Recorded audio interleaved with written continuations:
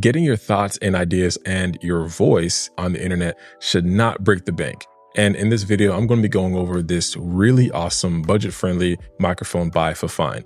This is the Fifine 688 microphone. It is an XLR and USB microphone. So that means you can connect it to your Rodecaster Pro, your Focusrite, or your iPad. So let's jump right into it. So there are four things I want to go over about this mic. The sound quality, the durability, versatility, and lastly, affordability. So let's start off with sound quality. You've been listening to me talk on the mic for the whole entire video, and it sounds really good. It, I really love the sound of it.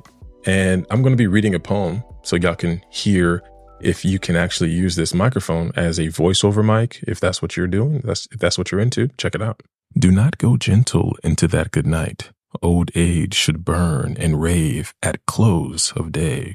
Rage, rage against the dying of the light. Do not go gentle into that good night.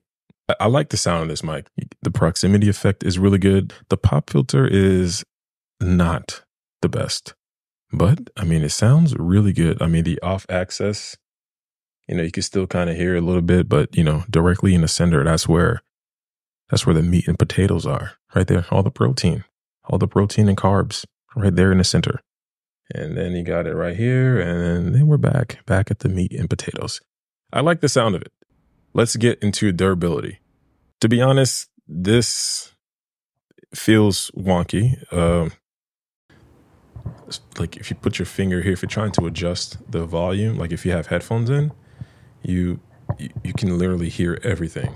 I thought the rubber things would kind of absorb some of that noise, but on the back of the device, you have your headphone jack, XLR, and USB C. I like to test out the back of some devices to make sure that the USB C port isn't loose or anything. Sometimes they can be, and this one was pretty snug. The dials were really good too. The dials are really smooth to use. So it seemed pretty durable. It feels good in the hand.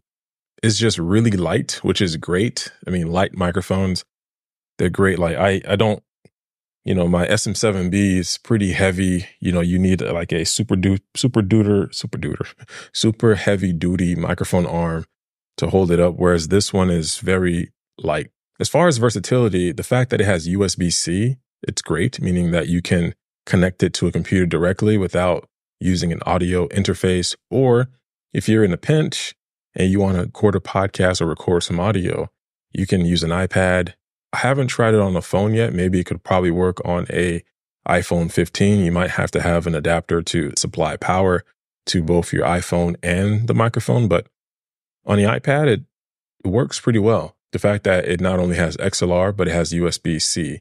Versatility, it gets an A plus for me. So as far as affordability, this microphone is extremely affordable at $58 right now on Amazon. That's I mean, the features you're getting, it's it's ridiculous. Like I remember starting podcasting, there some microphones were like 20, 30 bucks and they didn't have USB-C. They they were either USB mics or XLR mics.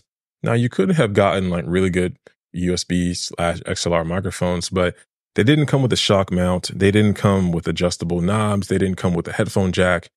So all in all, I say that this is a really good deal for 58 bucks. I mean, you guys are winning compared to old Guil back in the day podcasting with a Pyle microphone. Yeah, it was rough. So this is a really good deal.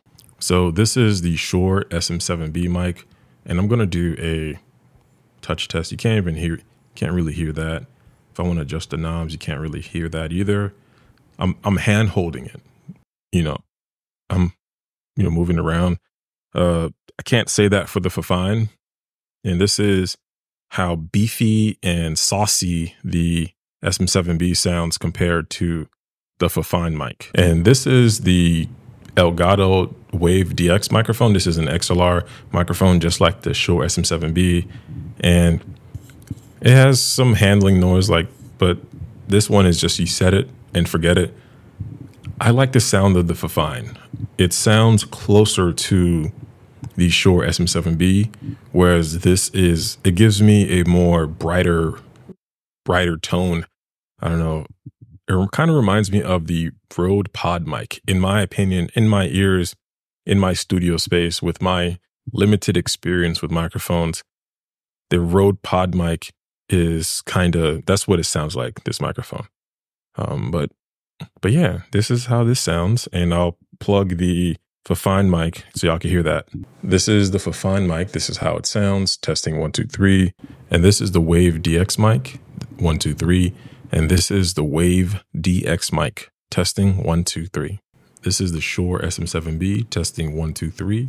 This is the Shure SM7B testing one two three. I'm a firm believer in not limiting yourself. And this is a great microphone that you can use professionally for voiceovers as you heard or you heard me read the poem and it sounds fantastic. All right, y'all. Hope y'all enjoyed this video. If you did, please comment down below, like, subscribe, and I'll see you in the next video. Oh, also, there's a link in the description for this microphone. So if you want to get it, check it out. Yeah, there you go. All right. Peace.